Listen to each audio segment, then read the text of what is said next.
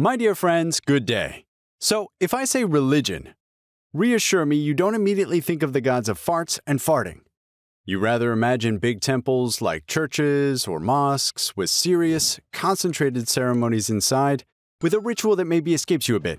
In short, you have a rather modern and Western idea of religion, except that throughout history, it's sometimes been different and even funny. I hope you're comfortable because I warn you, we're going to discover some rather unusual gods. And with our modern moral criteria, we wouldn't consider them very healthy. Come on, let's go.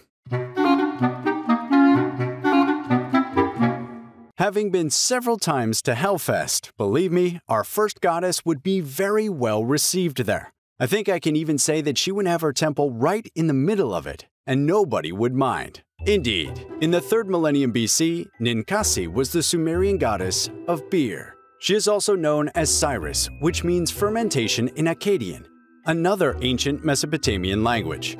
Beyond the funny anecdote, divinizing a drink is anything but trivial. It shows the cultural importance that beer had at the time.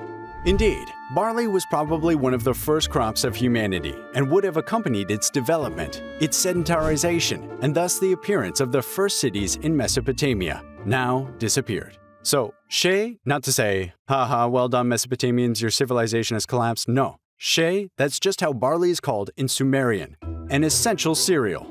By the way, the famous Epic of Gilgamesh tells that Enkidu, a real savage, reaches civilization by going through different stages, and among those, getting drunk on beer. Proof that we are indeed human. As much as to say that the Mesopotamians do not joke with this drink, hence the cult rendered to Ninkasi, which was rediscovered only in the 20th century thanks to a clay tablet. In 1991, Miguel Civil managed to translate it. It was called The Hymn to Ninkasi. The song traces all the steps to brew Mesopotamian beer. Thanks to him, we know that this beverage was not really like what we drink today. Much stronger and thicker, more like a kind of porridge. Sumerian beer was a real liquid bread made from dry barley bread that was soaked in water to ferment. Honey and date syrup were then added to it. So, sorry, I can't conclude by wishing you strength and hops because there were no hops. This plant was absolutely unknown there, but take comfort in the fact that the next god is also related to festive drinks. Come on, let's take a little tour of the planet to land with the Mexicans, or rather their ancestors of the 12th and 16th centuries, the Aztecs. The people who dominated this region had a vast polytheistic pantheon. And among all these gods, the one that interests us is Tezcatzoncatl. His name, a little bit hard to pronounce, means the one who has hair like a mirror, and he is usually represented with a crown of flowers, associated with pleasure and entertainment. Tezcatzoncatl is simply the god of wine and inebriation. So I can already hear people saying, wine, joy, the vegetal crown on the head. Wouldn't it be a bit like Dionysus of the Greeks by any chance? Well, not really, because there again, the Aztec wine is not exactly like ours. In fact, we're talking about pulque, a slightly alcoholic drink obtained by fermenting agave sap. So it's far from being the only drink of the Aztecs, because if Tezcatzoncatl is the most important god of wine, well, he's not the only one. They would have up to 400 brothers. Each one would represent, according to the versions, either a different fermented drink or a mental state provoked by the psychotropic.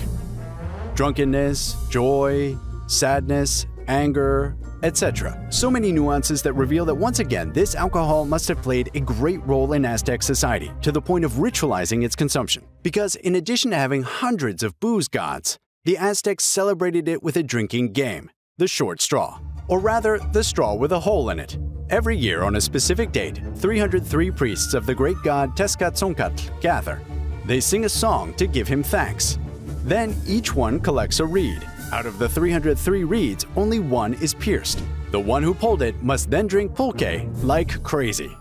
In the end, only one of them has a monstrous hangover, while 302 players stay in the water. Come on, next god. And now we're heading to India with a goddess still revered today in the Hindu pantheon. If you think that Hanuman with his monkey head, Ganesh with his elephant head, or Kali with his four arms are a bit weird. Well, hang on. Because Chinnamasta is even stranger. Imagine a giant lotus flower. Put on it a couple in full sexual frolic. Add on top of this couple a half naked woman with red skin. Ah, and her body is clutched by a cobra, and she is wearing a necklace of human skulls around her neck. One wonders what this jewel is for, considering that the woman has decapitated herself. In one hand, she holds her blade, and in the other, her poor head. From her neck, streams of blood are collected in cups by other women, who drink it, and and here I'm introducing Chinnamasta, the Hindu goddess of the Tantric tradition, who is always represented like this. Hinduism is a very complex religion. Each of its gods has the habit of having different names, different aspects, and of subdividing into other entities or, on the contrary, of grouping together. This is the case of Chinnamasta, who is part of the group of the 10 Mahavidya goddesses, the 10 wisdoms. Each of them represents in reality one of the aspects of a single goddess, Durga, the wife of Shiva, one of the major Hindu gods. So, okay, but how much of Durga is Chinnamasta? Well, again, it's complicated. To summarize, she is a goddess of paradoxes who represents both death and life. She is often associated with the question of food, the fact of bringing food, or even the notion of motherhood. But on the other hand, she also represents sacrifice as well as dominating and self sufficient sexual power. Besides, the couple she is perched on is Kama, the god of love, and Rati, the goddess of lust. So, I'll clarify anyway if it's not clear to you. Self sufficient sexual power. Yes, that's what you think. Chinnamasta, she is the goddess of masturbation and of the nurturing mother. So, I'll leave you to deal with this weird association of ideas, and I really hope that the next god will be a little bit less sexual. The next god, less sexual? Well, no, it's not. What are we going to talk about now? Of course, the Chinese god of sodomy, right? For a change. We say hello to Zhou Wang, one of the deities of Chinese Taoism. But be careful, the internet traps us by saying everywhere that Zhou Wang's thing is really sodomy. While if you look for it, it's not necessarily true. First of all, Zhou Wang refers to someone who really existed in the 11th century BCE. King Di Xin, the last ruler of the Shang dynasty. Okay, so the problem is that between historical chronicles, fiction, and mythological accounts, we are not sure that Di Xin really lived. But his legend did exist. Moreover, the mythological Zhou Wang does appear in several writings of Confucius, but it is Xu Zhonglin who makes him truly famous in his historical novel of the 16th century, The Investiture of the Gods. In this text, he is a good, efficient, and popular king but who descends into debauchery as a result of a divine curse. From that point on, he spends all his time wallowing in orgies to the point that when he dies, he becomes the god of debauchery. So, second point, he is rather a god of debauchery in general, and not of sodomy in particular. Besides, Zhou Wang didn't stay that way for long, and today he's worshipped for something else entirely. In fact, he is not responsible for these bad habits since they come from a divine curse. The legend of Zhou Wang says that other gods gave him justice, from then on, he becomes the star of happiness, a much more positive God who has all the power over marriage affairs, including the extramarital affairs that threaten the couple. So we've gone from the god of sodomy to the god of marriage, and it's not quite the same tea. So sorry to have broken the myth, but it still allows us to discover a very common archetype of Chinese mythology, namely a mortal character, historical or fictional, who becomes so popular he is made a god, Zhou Wang's far from being the only one. And now it's the turn of the goddess of the sewers, so beware, her story has also been a bit complicated.